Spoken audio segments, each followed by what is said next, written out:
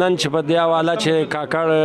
په ټی چې دلته کاکړان راټول دي د کاکړی اتحاد چې موږ جوړ کړي د کاکړ د کاکړانو چې کمی شاخونه دي ارڅوب شي دي موږ ټول په جمهواري باندې په کاکړ کې خوار څو شاخه دي نه هر قوم دي سیو سین دی دا وی دی ګلمړ دی دا ټول موږ په یو نامه باندې ژغ کو ټول موږ په سین په صوبه کې په خصوصا په کراچۍ کې په اشرف ګوټ کې نن په کاکړ هاوس کې موږ دا میټینګ چې وکړي د دې په اړه کې مو وکړي چې موږ اتحاد او اتفاق جوړ کړي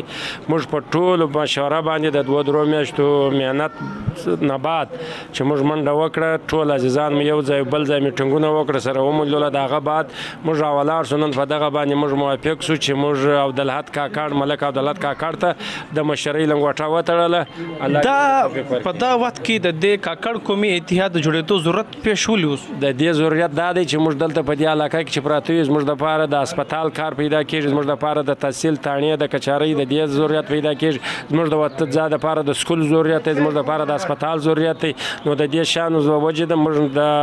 کاکړ اتحاد جوړ کړي چې موږ به ان شاء الله که خدای کول د دې ټولو خدمت لپاره موږ او دولت کاکړ ته لنګ وټه وته ټول قوم به د سره یې د وشاته به ولاړی د منډه کراچي ډیر غټ شهر دی او په ډیر غټ تعداد باندې د کاکړ قبيله خلک آباد دي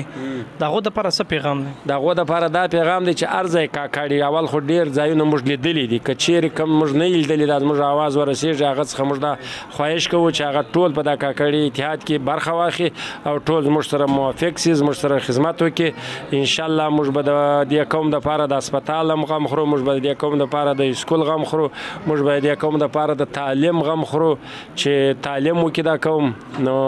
موږ د په اتفاق د دې کاکړي اتفاق صرف دغه مرامو چې د دغه د پاره چې موږ ته د قوم د پاره خدمت وکړو الله پاک د عبدالحد کاکړ ته دا توفیق ورکړي چې د دا قوم د پاره خدمت وکړي او موږ ان شاء الله ټول شانه به شانه ور سره ولاړ یو موږ به دغه د پاره خدمت ستا په سیاسي پاکستان پیپلز پارټي کوم ډېر غټ کردار دی علاقې پر سطح باندې ته په دا پارټي کې هم د خپل د قوم او د خلکو خدمت کړی دی ما خو په دې پارټۍ کې انشاءالله ما چې کم خدمت په خپل علاقه کې کړی هغه ټول خلکو ته معلوم دی هغه د چا څخه پټ نه دی په دې کانوی کې ما انشاءالله اوبه راویستلې دې کانوی ته ټوله دنیا ته معلومه ده په دې کانوی کې ما سیوریج اچولی و ټوله دنیا ته معلومه ده و دې کانوی ته ما د نادرا ګاړه یوه او ته پوره راویستلې ده د یوه ورځ د نور یوه ورځ د ښځو دپاره